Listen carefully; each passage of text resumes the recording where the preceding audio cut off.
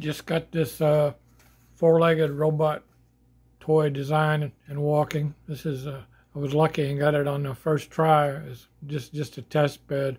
I'll show it working.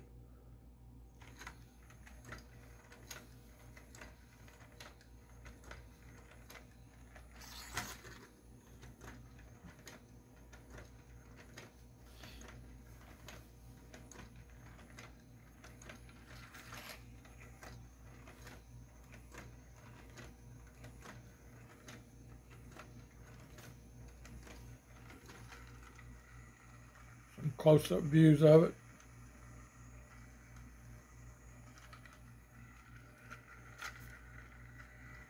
It's probably one of the few things I built that worked first time. It's got a few problems I need to adjust, but nothing that kept it from uh, operating.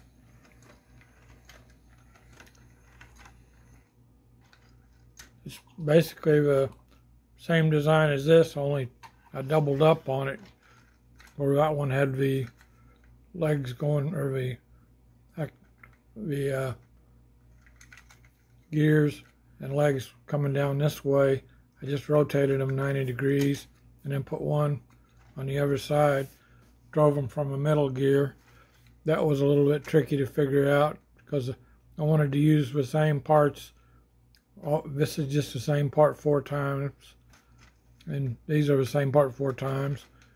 And for that to work, you have to get the geometry just right so that when this engages, they'll all be in a proper uh, proper place.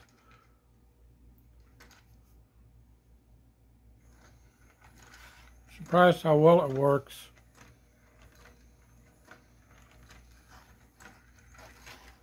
How stable it is.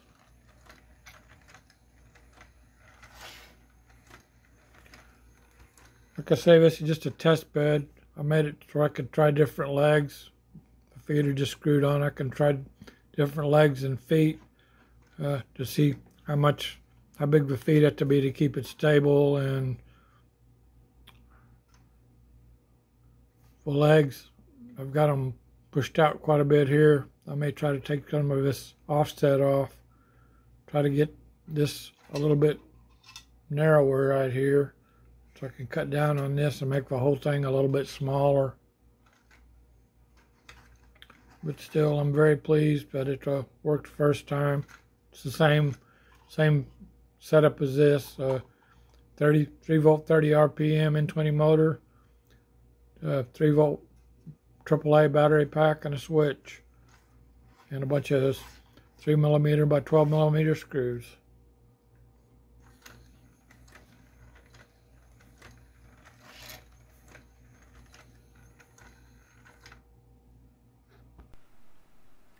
Got the initial idea for doing this four-legged thing when I uh, was just playing around in this linkage program. I just decided to stick four gears on there one in the middle and see what happened. Of course, this is just one side of it. That was uh, where I got this, the uh, idea for it, playing with this.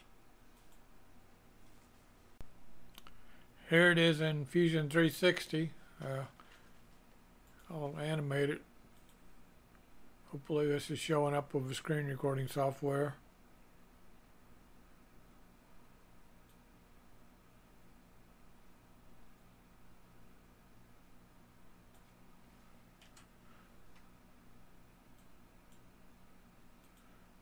It took a lot longer to get all these joints working than it did to draw the thing up. One uh, thing I was referring to in the other section of this video was uh, the way these gears are syncing up. My initial gear was 25 teeth. This one's 24. And I also had these uh, other gears off at not 45 degree angles. I was trying to adjust for spacing a little to, uh, I don't know, squeeze it to the top or to the bottom. But anyway, then uh, the gear wouldn't mesh up with all of them. And since I wanted all these four gears here with, with the shafts that go to the other side to be identical, they needed to be able to mesh up to the center gear here. When I changed it to 24 teeth and the angles to 45 degrees. So this from the center of this down to here, down to here is 45, and that's for all of them.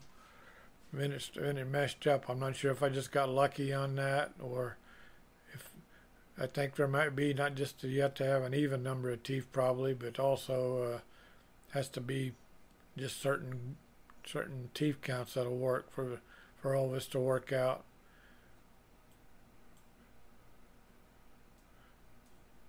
That's what it looks like when I designed it. Thanks for watching.